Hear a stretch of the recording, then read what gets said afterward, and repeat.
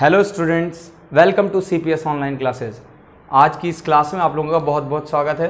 Student आज की class में हम बहुत ही इंपॉर्टेंट टॉपिक को कवर करने जा रहे हैं। इससे पहले आपने दो टॉपिक पढ़ा इस चैप्टर के regarding human reproduction third chapter दो चैप्टर ऑलरेडी कवर हो चुके हैं। थर्ड चैप्टर पे हम स्टडी कर रहे हैं। तो थर्ड चैप्टर में हमने आपको मेल रिप्रोडक्टिव सिस्टम इलेबोरेट कर दिया है। फीमेल रिप्रोडक्टिव सिस्टम भी इलेबोरेट कर दिया है। और आज का ये थर्ड लेक्चर जो है ह्यूमन रिप्रोडक्शन में गैमेटोजेनेसिस ये थर्ड लेक्चर है हमारा, और इसमें हम गैमेटोजेनेसिस टॉपिक पे डिस्कस करेंगे। स्टूडेंट एक बात मैं आपको बता दूँ, अब से जो भी आपको क्लास मिलने वाली है, उसमें सारी चीज़ें पढ़ाई जाएँगी, सारी चीज़ों की कनेक्टिंग रेफरेंसिंग रहेगी टॉपिक की, पर सीबीएसई ने एक नया सिलेबस जो है लॉन्च किया है, बनाया है तो उसमें कुछ बहुत सारे चैप्टर्स बहुत सारे टॉपिक को स्किप कर दिया है। तो हम वो सारे टॉपिक वो सारे चैप्टर जो जहाँ रेफरेंस के तौर पे लगेंगे, हम आपको बताते हुए चलेंगे। पर एग्ज़ाम पॉइंट ऑफ़ व्यू से आपको वही टॉपिक पढ़ना है। एग्ज़ाम में उन्हीं से क्वेश्चन बनने हैं जो सीबीएसई ने नए सिलेबस को दिया है। तो उस नए सिलेबस के अकॉर्डिंग हमने जो इस चैप्टर में दो टॉपिक पढ़ा है, वो ऑलरेडी इंक्लूड है। और आज का ये थर्ड टॉपिक गैमेटोजेंसिस तो सीधी भाषा में आप जानो कि अब जो भी आप सीखने वाले हो वो सीबीएसई की न्यू सिलेबस पैटर्न पे ही सीखने वाले हो। तो डायरेक्ट हम टॉपिक पे आते हैं और स्टडी करते हैं, क्योंकि हमें इन सब टॉपिक पे ज़्यादा ध्यान देना है, क्योंकि इन्हीं से एग्ज़ाम में क्वेश्चन बनने हैं। पहले स्टूडेंट स्टार्ट करते हैं।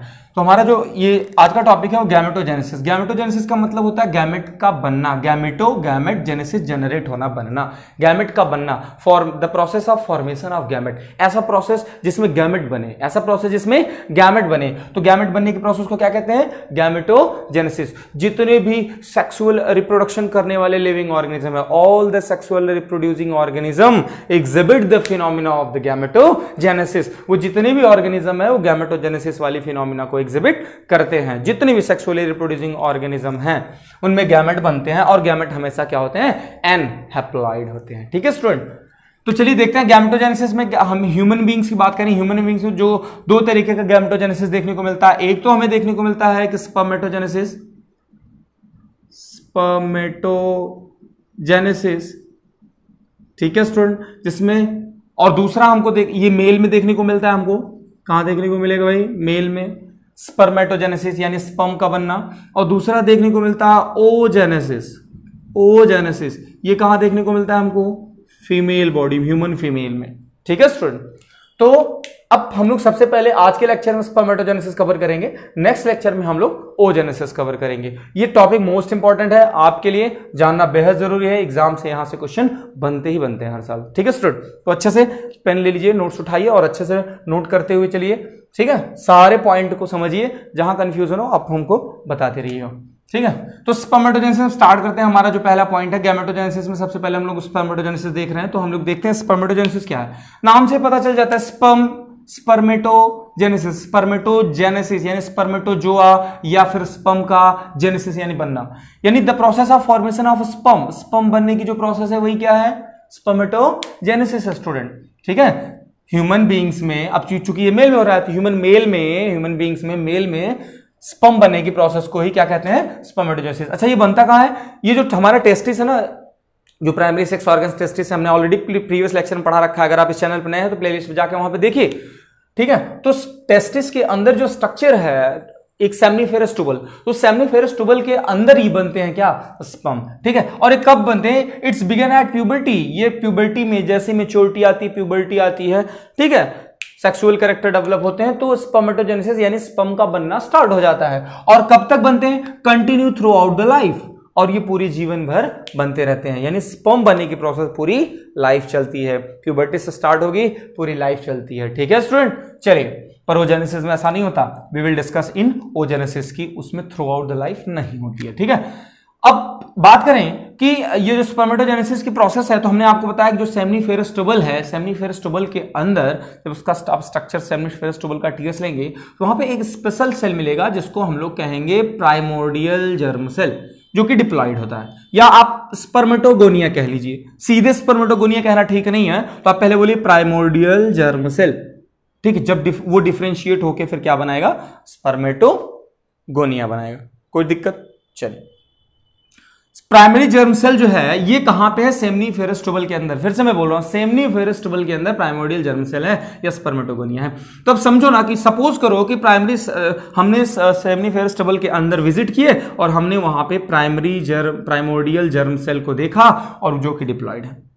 होता क्या है कि स्टूडेंट कि ये जो सेल है, ये डिप्लॉयड है और ये डिवाइड होता है तो ये माइटोसिस तरीके से डिवाइड होता है नॉर्मल डिवाइड माइटोसिस थोड़ी देर के लिए समझना कि जब टू से टू बनता है या यन से यन यन बनता है तो ये दोनों कंडीशन क्या है? माइटोसिस की है। पर स्टूडेंट जब टू यन से एन एन बनते हैं और फिर अगेन एन से एन एन बनते हैं तो आप समझिएगा कि इस वाले स्टेप को मियोसिस फ़र्स्ट और इस वाले स्टेप को मियोसिस सेकंड कहते हैं। ये चीज़ याद रख लेना आपको, ठीक है? तो फाइनली एक मदर सेल से जो है फोर डॉटर सेल बनते हैं। ये मियोसिस की कंडीशन है, ठीक है? चलिए, जहाँ ज़रूरत लगेगी, हम फिर से बताते रहेंगे आपको। अब आप देख लीजिए इसमें कि ये जो प्राइमोडियल जर्म सेल है, वो डिवाइड होता है तो दो सेल बनता है। हमने सेल को नाम दिया टाइप ए टाइप बी उसमें से एक जो टाइप ए सेल जो बना है, वो क्या करता है? वो फिर से डिवीज़न करता है और फिर से स्पर्मेटोगोनिया बनाता है। मतलब फिर से यही वाला सेल बनाता है। स्पर्मेटोगोनिया बनाता है। ठीक है? कुछ cell some of the cell not at all कुछ सेल जो है, वो अगेन माइटोसिस डिवाइड करेंगे और डिवाइड करके फिर से ये वही वाला सेल फिर से बना देंगे मतलब स्पर्मेटोगोनिया बनाएँगे। प्राइमरी प्राइमोडियल जर्म सेल में डिवीज़न होने से जो सेल बनेगी, उसका नाम है स्पर्मेटोगोनिया जो कि डिप्लॉयड है और वो दो सेल बनेंगे जिसमें से हम उन सेल को एक को टाइप ए कह सकते हैं दूसरे को टाइप बी तो कुछ सेल यानी आप कह लीजिए कि टाइप ए वाला सेल है वो अगेन डिवाइड होकर के स्पर्मेटोगोनिया बनाएगा मगर कुछ सेल जो बचे हुए से, कुछ सेल हैं यानी जो टाइप बी है वो सेल माइटोसिस करेगा और फिर से दो सेल बनाएगा। जब माइटोसिस करेगा तो उसमें यानी टाइप बी यानी स्पर्मेटोगोनिया में जब माइटोसिस होगी तो क्या बनाएगा? दो सेल बनाएँगे। और आपको मैं बता दूँ कि जो ये जो सेल बनेगा इसका नाम होगा प्राइमरी स्पर्मेटोसाइट्स प्राइमरी स्पर्मेटोसाइट्स ठीक है स्टूडेंट अब देखना कि प्राइमरी स्पर्मेटोसाइट्स ये जो सेल है सेम ये भी जो प्रोसेस इसके साथ होने वाली है सेम यही प्रोसेस इसके साथ भी होने वाली है। प्राइमरी स्पर्मेटोसाइट्स में मियोसिस होता है। जब मियोसिस होगा तो डेफिनेटली ये टू एन है तो ये क्या हुआ होगा? कहीं कहीं ये यन और यन हुआ होगा।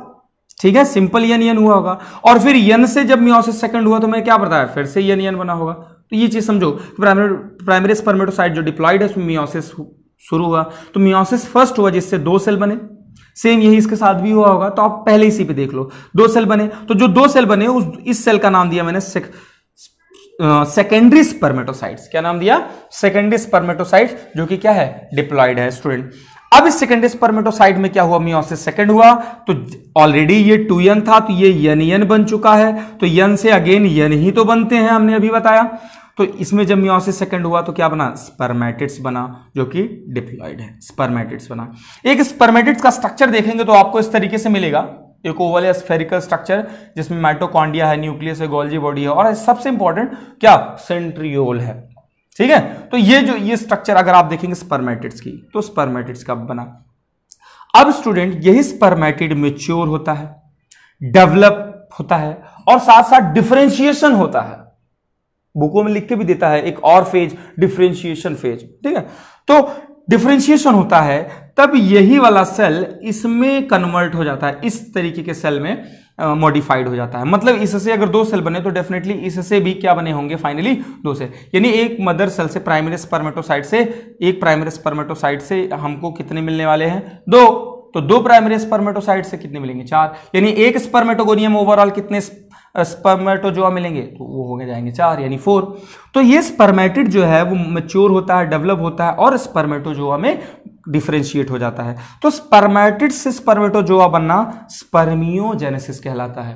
क्या कहलाता है? स्पर्मियोजेनेसिस ठीक है? तो ये स्पर्मियोजेनेसिस है। और यही स्पर्मेटोजोआ का ही नाम क्या है? स्पर्म इसी को आप स्पर्मेटोजोआ कहो या स्पम तो स्पम बनने की जो प्रोसेस है, उसी का क्या नाम है? स्पर्मेटोजेनेसिस अब इसको थोड़ा सा यहाँ से देखते हैं कि भाई यहाँ पे क्या हुआ? सेल डिवाइड हुआ। तो डेफिनेटली कौन सा डिवीज़न हुआ होगा? टू से अगर टू ही रहा ये तो क्या हुआ होगा? माइटोसिस हुआ होगा। चलो भाई मल्टीप्लीकेशन हुआ।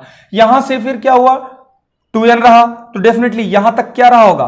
भाई मल्टीप्लीकेशन रहा होगा। चलो, यहाँ तक मल्टीप्लीकेशन ही चला है।